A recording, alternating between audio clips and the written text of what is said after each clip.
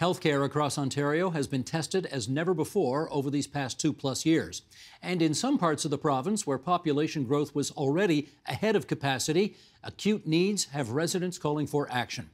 Brampton in Peel Region is one such area. It's just landed a new medical school and is hoping to add a hospital. With us now for more. In Kingston, Ontario, Natalie Mehra. She's Executive Director of the Ontario Health Coalition. In Brampton, Ontario, Rowena Santos, Regional Councillor for Brampton Wards 1 and 5. And in the provincial capital in North Toronto, there's Dr. Lawrence Loh, Medical Officer of Health for the region of Peel. And we're delighted to have all of you on our program tonight for this look at one of the fastest growing parts of our province. And to that end, uh, let's just start here with a comment from Prabmeet Sarkaria. He's the president of the Treasury Board, cabinet minister in the current government. He's the MPP for Brampton South. And he says, as it relates to the new Ryerson University School of Medicine to be built in Brampton, after years of chronic staffing shortages, budget cuts, and neglect from previous governments, Brampton's new medical school will give eager students of today the opportunity to become skilled doctors serving our community tomorrow, improving access and quality of care for all Bramptonians. Let's get you all on the record as to what you think about the advisability of doing this. Rowena Santos, what say you? Well, we were very excited and welcomed the announcement. The city of Brampton has not only declared the healthcare emergency during this term and even despite COVID 19 before COVID 19, but also we've been advocating for far more post secondary opportunities here in the city of Brampton. And so the medical school does both of those things. And so we welcome that announcement very much. Natalie Mehra, what do you say about it? I think it's great. I mean, if it happens, because Brampton has been used kind of as a political football, really, for years now. I mean, it, this is not just this government, but many, you know, preceding elections. There have been all kinds of promises for things for Brampton, including a new hospital over and over again, a full service hospital, and the like that have not materialized. So, yes, great news but it better happen. Brampton deserves it. Rowena Santos, let me follow up with you on that because you well know that lots of politicians have taken lots of trips to Brampton to make lots of announcements promising lots of things, and a lot of them have not happened and do not happen. How are you so sure this one is going to? Well, I think that uh, folks are right. Like the city of Brampton has kind of been used as the place to make announcements during election time, but then once folks are in government, um, we don't necessarily see the shovels in the ground. We've suffered through decades of being chronically underfunded in the city of Brampton. And to your point, Steve, you mentioned earlier, the city of Brampton is the fastest growing city in the country and the ninth largest.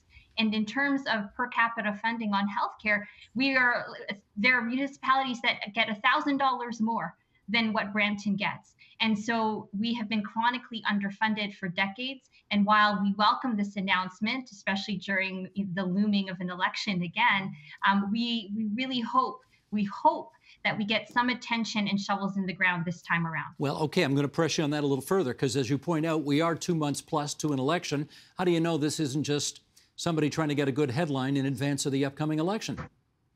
Well, we know that, for example, two things. We've been pushing for post secondary opportunities in the city of Brampton, advocating for this entire term, as well as pushing for more healthcare attention and equitable funding in the city of Brampton as well. Now, the medical school is one thing because the president of Ryerson, Mohamed Lachemi, had already shared that he has been working with the province to make sure that this gets delivered. So you've got the premier, you've got Prabmeet Sarkaria, you've got um, Mohamed Lachemi, the president of Ryerson University. And at the end of the day, we have no choice. The, the province, whoever the political stripe uh, of government's going to be after the election, they have to do something about healthcare in Brampton. We are already behind. And I know that uh, we're probably going to talk about the announcement of the hospital, the second hospital as well, but we're already behind. We should already be looking at a third hospital and catching up to what we've already been missing. All right, Dr. Loh, I've been doing my best not to entangle you in partisan politics here because you are an independent public servant. So, uh, having said that, I want to uh, bring up a population chart here and just show everybody uh, in numbers what we've been talking about. And for those who are listening on podcast, I'll just describe this a little bit. This is what the forecast for population in Brampton is expected to be towards the year 2051. Uh, we go back to just 20 plus years, and the population of Brampton was somewhere between three and 400,000, and it has been going up and up and up and up every year. And if the forecasts continue along the current trajectory, Brampton's going to be up close to a million people within 30 years. Uh, that's a big city, a million people.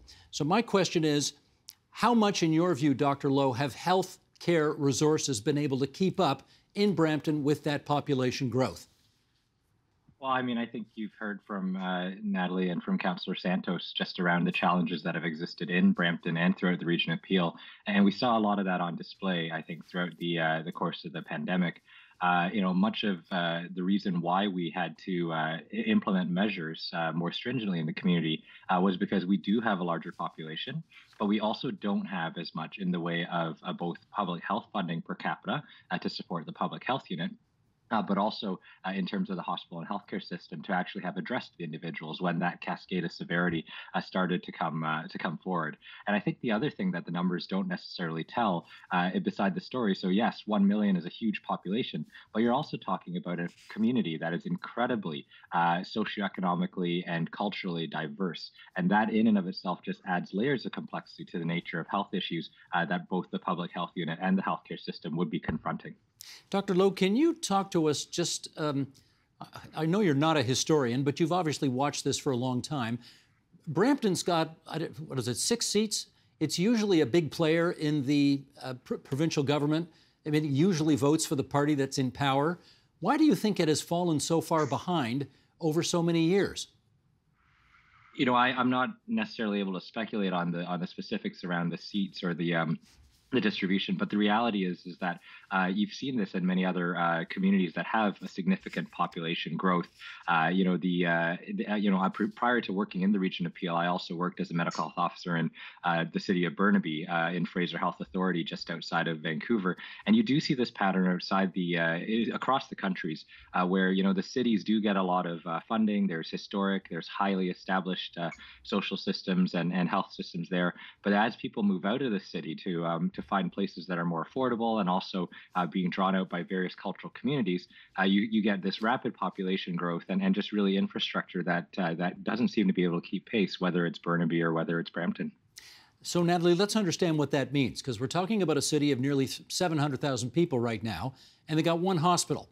So, what does that mean to members of the community, to patients, to staff, to people who want a career in medicine in Brampton? What does all that mean? Yeah, you know, for a, for a person trying to access healthcare in Brampton, it means extraordinarily long waits in the emergency department. It means every bed in the hospital is full pretty much all the time, and that there are people lined up on stretchers and hallways for days at a time waiting for access to a bed. These are not people who don't need healthcare. If you're waiting on a stretcher in a hospital for a hospital bed, you're very sick indeed because Ontario overall has the fewest hospital beds per capita of any province in the country and of any of our peer nations. Um, and then Brampton has even less, has about half the hospital beds per capita, just under half that the rest of Ontario has. Like it's been underserved for decades now. And really, it means very poor access to even the most vital of care emergency care, acute inpatient care in the hospital, complex continuing care, mental health care, rehabilitation, all of those things for patients very hard to access. Steve? Well, okay, Rowena, I want to go back to that political question because, as I say, I mean, I've been watching elections in this province for a long time, and Brampton usually votes with the government. And there's usually a senior cabinet minister that comes out of Brampton. And yet, Brampton, in terms of services, uh, continues to fall behind all the rest of uh, the big populated centers of the province. Any ideas why? Yeah, and you bring up a, a, a, number of very important points. And what's interesting about Brampton with the five ridings that we have here in our city is that it's uh, three seats that are with the NDP and two seats that are with the PC government at the moment. And so, with the upcoming election, who knows what's going to change? And perhaps that that division or that uh, you know cross section of party lines may be what actually gets the shovels in the ground this time around from the from the provincial government What I will say, and, and, and um, Dr. Loh brought up some very interesting points with relation to the pandemic and the impact of healthcare during the course of the pandemic. We were already in a healthcare emergency. We declared a healthcare emergency three months before COVID hit we were already in gridlock in the one hospital that we had in the city of Brampton. What's also interesting about Brampton is because we were so underserviced, we were then also stigmatized as one of the hot spots across the country for COVID. And part of the reason why, and I'll get to my point now, is because of the amount of essential workers that live and work in Brampton. Our workers in Brampton work in logistics, they work in food manufacturing, they work in the trucking industry. And so when people were able to work from home, Brampton workers had to go to work to keep the country moving. And so the stigmatization has impacted um, Brampton's reputation during the first wave of, of 2020 COVID uh, hitting us. And through us yelling and screaming, Mayor Brown was very vocal about it on the news, national news. Through that advocacy, we were able to push for this announcement for the second hospital. And hopefully, the government sees that especially given the course of the pandemic. I have also shared publicly as well that what I've seen as a trend, and I'll say it here now, is a, a, little element of structural racism. We are one of the most diverse cities in the entire country, and the majority of our population will be based in the next few years on newcomers. And so I think that that also has some influence over why we haven't received funding. Okay, Natalie, could you follow up on that answer in this regard? There seems to be a bit of a dispute as to whether or not Brampton is in fact getting a new hospital or it's getting a sort of an additional wing to an existing hospital. I think the facts suggest that there's a new inpatient wing being added to Peel Memorial.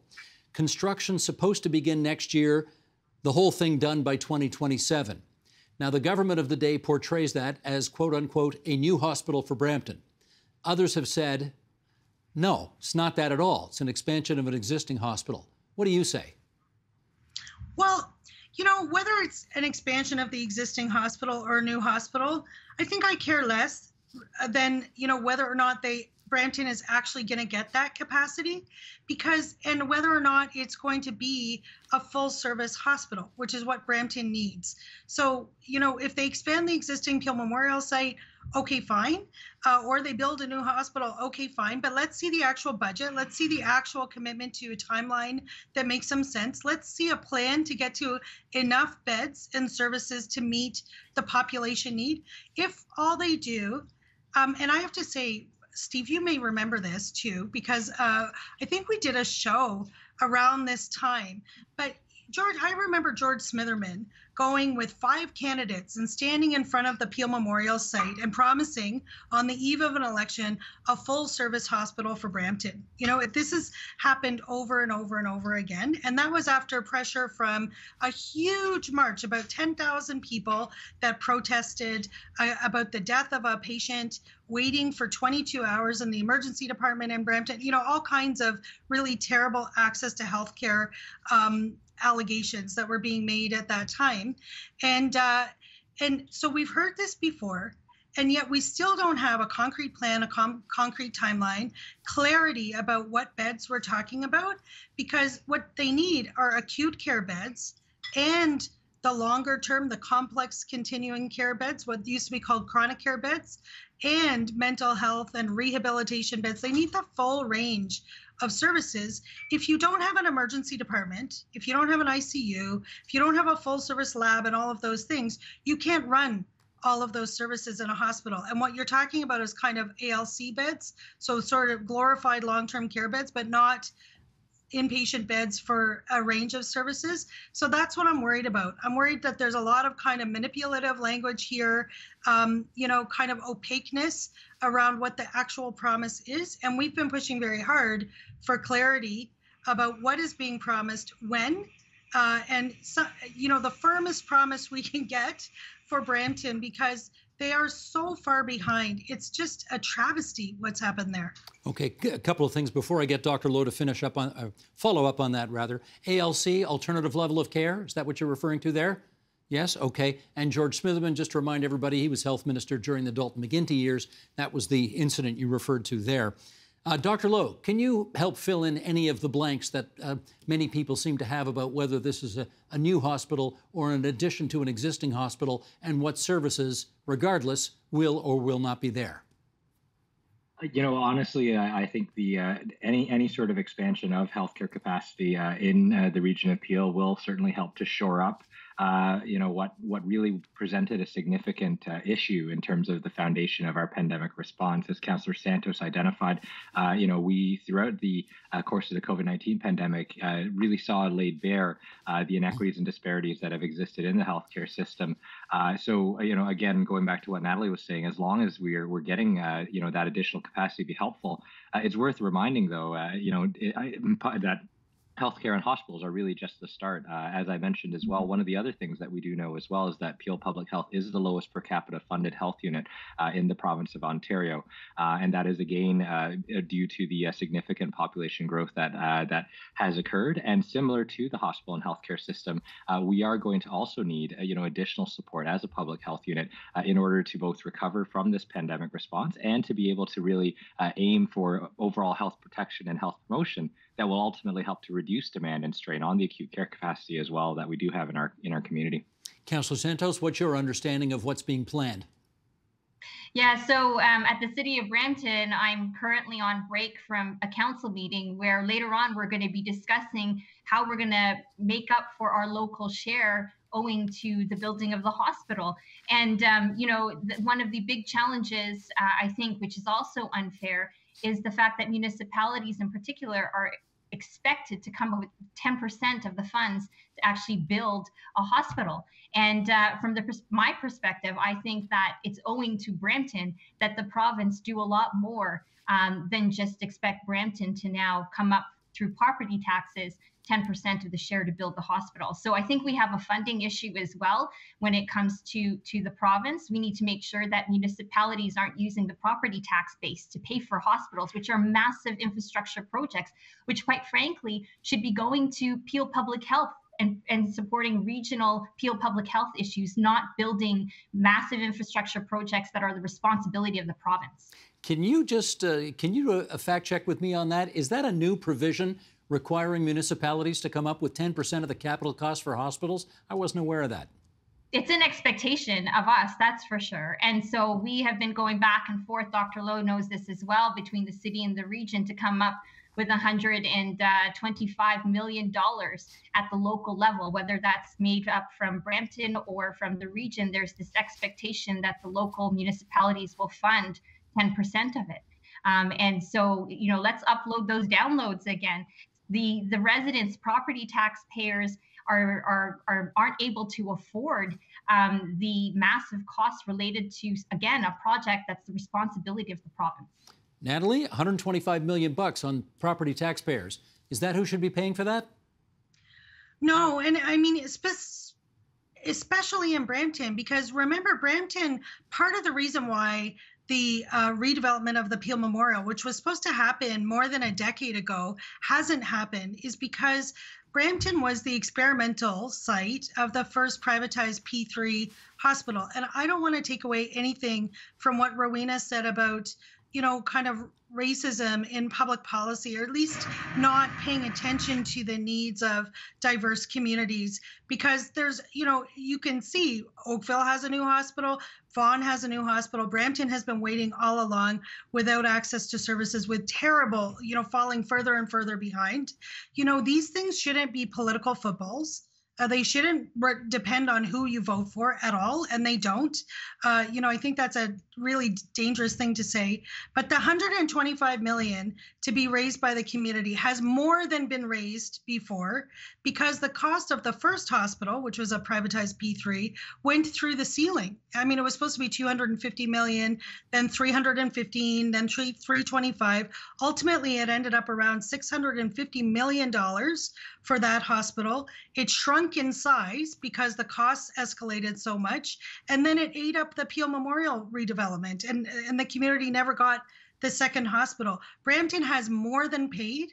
As I recall, I think mm-hmm. Brampton raised something like $250 million for that first hospital. They could have paid for it all with, you know, themselves without ever going to the province. They shouldn't have to pay a cent. Hmm. and on principle, this policy of 10% local share, it doesn't, it's harder on communities that are poorer. It's bad policy.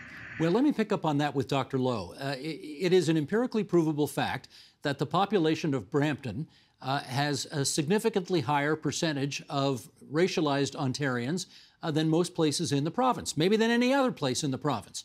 Do you think that you can draw a direct line between that fact and the fact that it has received such a disproportionately less amount of funding for its health care?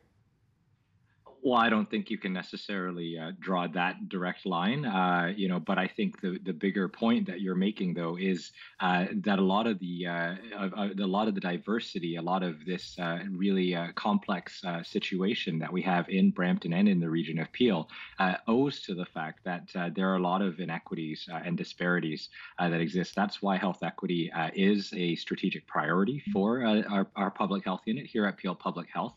that's why we also recognized throughout the COVID 19 pandemic, uh, that ultimately it wasn't uh, that the pandemic uh, created these inequities or disparities. Uh, they're the same health inequities and disparities that we saw even prior to the pandemic. Uh, many of these groups face higher rates of chronic disease, higher rates of mental illness, higher rates of you know injuries that are all related to the socioeconomic and ethnocultural diversity that we have in our community and so I think uh, that really speaks to uh, you know what what I always what I always say is that I think the the pandemic really uh, just uncovered uh, you know these inequities and disparities and put them in the spotlight and how interesting it is that it is a disease that spreads from person to person that needs that that reminded us all that we're ultimately all connected and ultimately this is a community uh, that we do need to come together for. Okay, but Rowena, I don't want to put words in your mouth here, but I really do think it's important to nail this down. Are you alleging that multiple governments over multiple decades have essentially taken a racist view in healthcare funding because Brampton has received disproportionately less money than other big cities in the province. I think, you know, to Dr. Loh's point, I, I don't think that there's any research paper or study that makes that direct correlation per se, but anecdotally, um, you can see the inequities and you know the diversity that exists in Brampton, the socioeconomic status that residents have here in Brampton, and so there is, um, you know, if someone were to do a PhD or take a look at the racist angle or possible systemic racism that may exist with the chronically underfunded after many decades on healthcare funding in the city of Brampton, then perhaps they may come to that conclusion. But I'm not prepared to do my PhD just yet. Um, but maybe if I do, I'll consider doing something along those lines. And I hope maybe another student may, may consider that as well. Well, it's interesting. One of your Brampton MPPs, Sara Singh, was actually in the middle of doing her PhD at Ryerson uh, when there was a little thing called an election that happened, and she won, and she had to put that on hold in order to assume her role as an MPP at Queen's Park. Uh, Natalie, you don't have to do your PhD with us right now, but I would like to give you a chance to explain why the number of hospital beds per 1,000 people in Ontario on average is 2.16, and in Brampton it's 0.96, less than half. What contributes to this disparity in your view? You know, I think you're right Steve, to try and pin this down because I think it matters. Like health planning should be based on need. It shouldn't be based on politics. It shouldn't be based on the loudest voices, the people that have the biggest sense of their personal rights, you know, that kind of thing. I think there is a kind of system, systemic racism that happens in healthcare with access to services. You if you were to ask any Indigenous community or First Nations community in Ontario, they would laugh at the question. You know, I, it's absolutely clear. I think when it comes to low income neighborhoods, to um, to communities uh, like Brampton that have been so severely underserved, or even places like Scarborough where we see real, you know, um, falling behind in terms of improving the hospital um, infrastructure. Uh, I have not done my PhD on it, but I have been a very close observer for more than 20 years. And I would say that those more well to do communities, which also happen to be whiter, um, have gotten uh, more than those communities that haven't. And, you know, that is a systemic kind of racism, at least in its effect. Um, and I don't want to be afraid to say that. I think it's true. I say this also because I'm half Indian. I'm white as I'm so white. I'm transparent. I'm almost green. but uh, but my father is from India, and I, you know, it's a heartfelt uh, feeling in the community um, that they have been looked over, partly uh, due to the racial makeup of the community. You know, it's funny. We've had you on this program numerous times, and it never occurred to me that your last name is your last name uh, because you have a South Asian father. Okay, we learn new things every day. Thank you for clarifying that.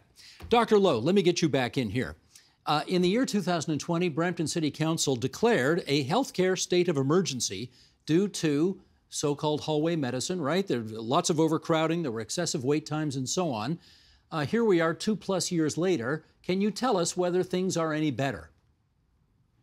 Well, you know, I, clearly we've all gone through two of the most difficult years uh, within the public health and healthcare space. Uh, you know, with the COVID nineteen pandemic, uh, I think I'd be hard pressed to say that things are uh, better. Um, you know, but I think the reality is uh, it, it, really speaks to the need for us to take a look at the investments, you know, in public health, in social services, in healthcare that really support this because we know that health right is uh, ultimately uh, beyond just uh, what happens within the hospital and healthcare those are though those are essential critical services that happen. It is a full cascade from uh, everyone's day-to-day life and their ability uh, to make healthy choices their ability uh, as they're supported by the system and you know as addressing some of those broader um, inequities and disparities to ensure that they can live their healthier they can live healthier for longer. Um, and then, of course, with those investments in health and social services in the upstream, you're really trying to reduce demand on the downstream, but you also need to make sure that in the downstream, and you know, when you get to uh, needs for uh, hospital care, for treatment, for et cetera, uh, that there is actually uh, something that is also meeting what is the anticipated that need that cannot necessarily be diverted uh, by ensuring that a broader, healthier context is also being built at the same time. In which case, Rowena, take us a decade down the road. Uh, there have been promises for this new wing on the Peel Memorial, new hospital, new wing, call it what you want. Uh, there are promises now of a new medical school uh, for uh, the city of Brampton as well. Take us a decade down the road and, and paint us a picture of what you imagine this city will be like a decade from now when presumably, you hope, of course, these two major institutions are completed. Yeah, I think uh, the, the picture that I will paint is healthy that all of our residents are healthy, that the hallway medicine issue that we have still existing in the city of Brampton will be gone, that we will actually have a cancer care treatment center um, that is uh, is helping cancer patients here in Brampton so that our residents don't have to travel elsewhere in order to get their cancer care. And that we are starting to build our third hospital in the city of Brampton. And on top of that we now have 10 years down the road more doctors and nurses to actually staff the hospitals themselves. Dr. Loh, uh, we've just heard something new being added to the wish list here the Cancer Care Treatment Center. Does Brampton need one of those? Well, uh, you know, again, this is probably something uh, better answered by my healthcare colleagues, but I think uh, many, uh, many large centers around the province all have regional cancer centers, uh, and those are uh, critical both from a prevention aspect in terms of, in terms of addressing the detection of cancers early, and and then of course treating cancers that have progressed to to different stages. So, if it's not something that's that that exists in Brampton right now, then it certainly is something that would would help to, to contribute to the overall health and well-being in the community. Natalie, how about you? Take us a decade down the road. What do you see if everything comes according to Hoyle the way that Rowena hopes it does? I also hope to see that Brampton has you know, at least it's two full service hospitals and is working on the third. I think the Cancer Treatment Center is absolutely fair and just to call for. You know, Kingston has one. It's uh, got a medical school. It's about 120,000 people. You know, there Brampton is one of the largest cities in the country. It's not just one of the largest cities in the province. Um, and there are many smaller cities that have more services. It would make sense to attach a medical school to more of those services. So I hope to see Brampton as kind of a healthcare hub for its region and that we have turned finally turned the corner on austerity and cuts and privatization that we're in a kind of nation building period again, and that Brampton gets to be kind of at the forefront of that with a with a model of care and services that is modern, that is diverse, that respects the cultures and diversities of the community. I think Brampton could lead in that, could be kind of a center of excellence for that, for um, the country and for the world, actually. I'd love to see that. Gotcha. I want to thank the three of you for coming on to TVO tonight and sharing your views. From left to right on our screen, Rowena Santos, the regional councillor in Brampton, Dr. Lawrence Loh, the medical officer of health for the region of Peel, Natalie Mehra, executive director, Ontario Health Coalition. Thanks to the three of you. Be safe out there, everyone. Thank, Thank you, you, Steve. Thank you so much, Steve. The Agenda with Steve Paikin is made possible through generous philanthropic contributions from viewers like you. Thank you for supporting TVO's journalism.